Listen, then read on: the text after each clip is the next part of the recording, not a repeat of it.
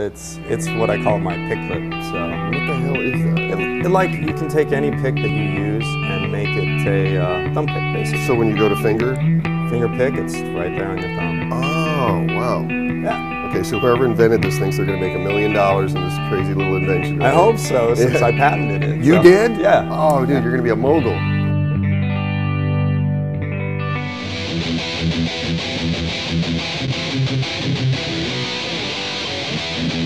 We'll